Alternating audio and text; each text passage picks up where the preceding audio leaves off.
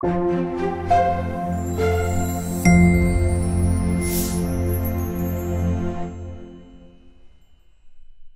anatomic considerations are that the lungs receive blood from two systems, the bronchial arteries, which come off of the aorta, and the pulmonary arteries off of the right ventricle.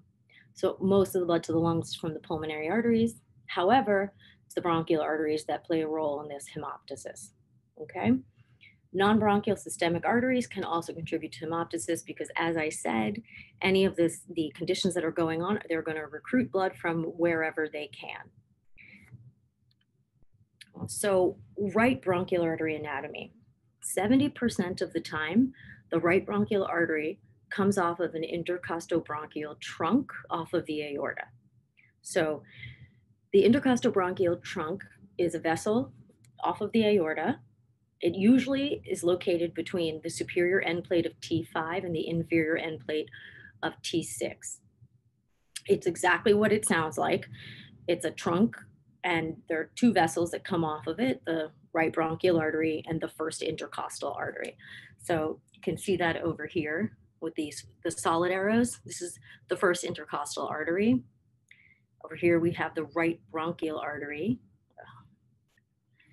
Uh, here's our trunk. Here's our catheter in place.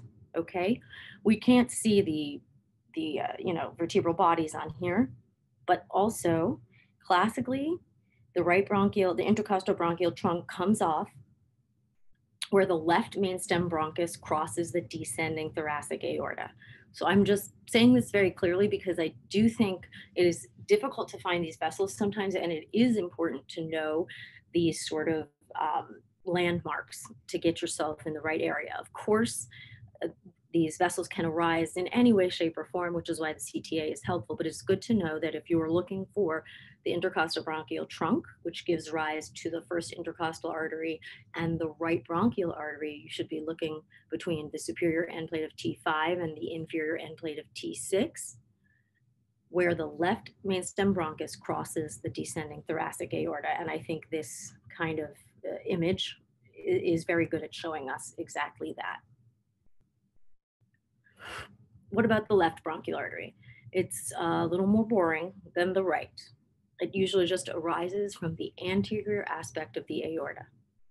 There are variants, of course. There can be a left intercostal bronchial trunk and also common trunk with the right bronchial artery. Those are the most usual variants. Here is another image of, uh, you know, I think we've all seen this at some point. It's not important to, of course, remember all the types, but just to know that, once again, 70% of the time, there's a single right bronchial artery off of the intercostal bronchial trunk. There can be two left bronchial arteries of separate origin, just one, um, you know, one left bronchial artery, and you can have a mixture of, you know, all those different types, one through four. Important thing to remember is that the most common type is that intercostobronchial trunk off of the aorta between the the T5 and T6 the area where the left main stem bronchus crosses the descending aorta. Once again, just right bronchial artery comes off of the aorta. 70% uh, of the time it's from that trunk. Another 10% of the time it's just a branch off of the aorta on its own, okay? First order branch. What about the other 20%? I don't know if you're adding up to 100, but as you can tell, I definitely spent a little time on that, which was a bit unnecessary. But you know, it's once again in these in these situations where it's hard to see where the anatomy is, it's good to kind of know your odds. So if you can't find the arteries there, where would they most likely be? Right bronchial artery can also come off of thoracic or abdominal branches of the aorta, aorta anywhere. Okay, the internal mammary, thyrocervical trunk, subclavian, pretty much about anywhere.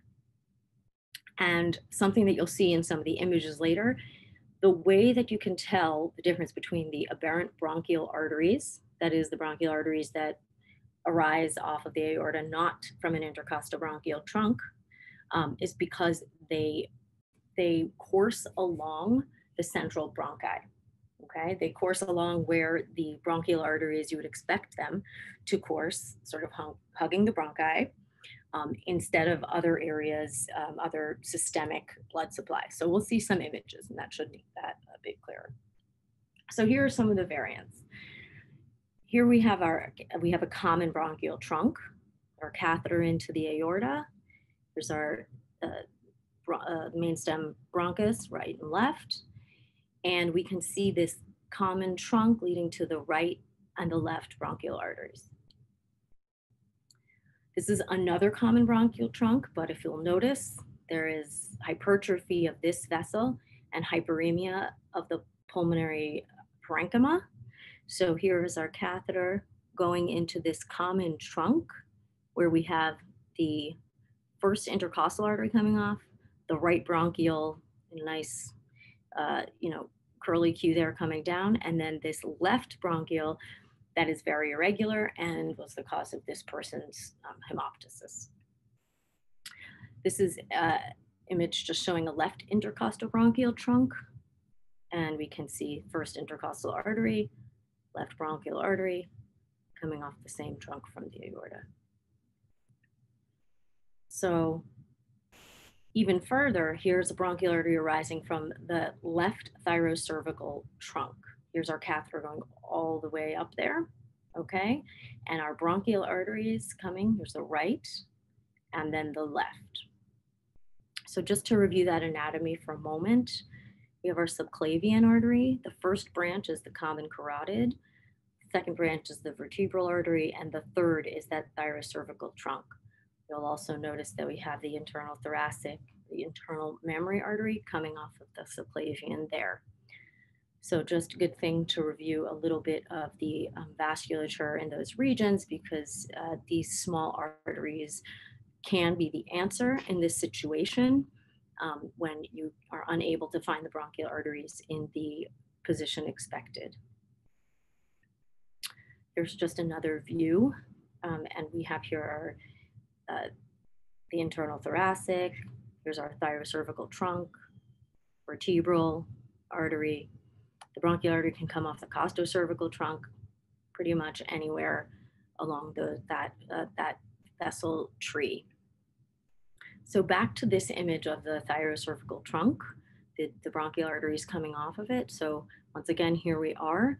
You can see our clavicle is up here. We're definitely not coming off the aorta. We're all the way up here. This is the left thyrocervical trunk, and it's giving rise to these hypertrophy to regular vessels from both sides. These are actually, in this patient, they were supplying hypervascular lesions in the right lower and the left upper lobes. And we can really see that, you know, that's exactly where these vessels are leading to and where the irregularities are.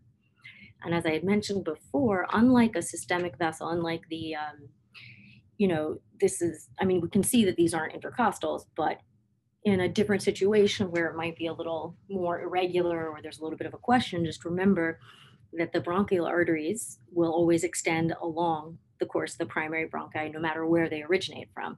And so, you know, you can't really see our carina here, but we can all imagine, you know, that this is where these vessels are coursing along, not in any other systemic distribution.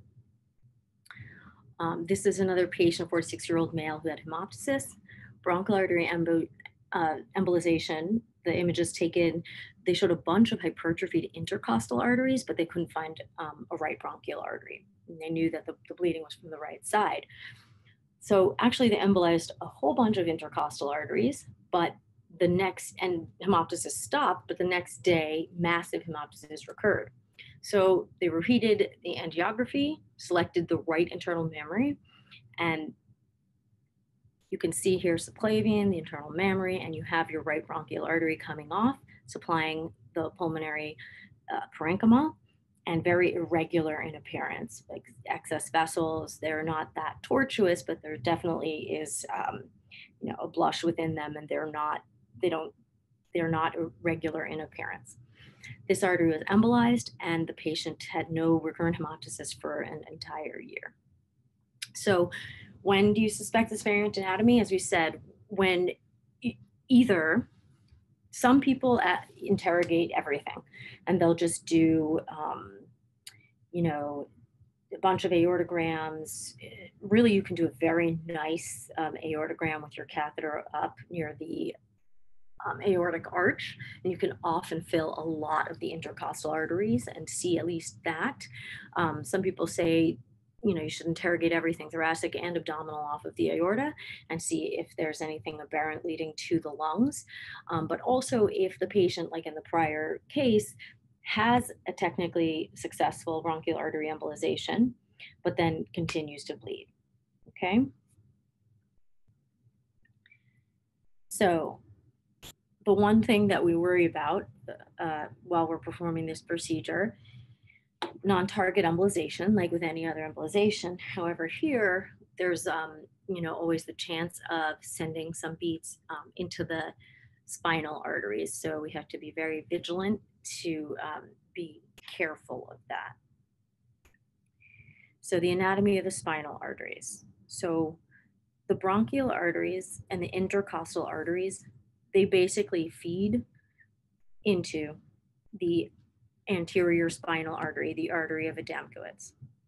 So along all the vertebral levels, there's um, branches, once again, radiculomedullary branches off the bronchial and intercostal arteries, okay?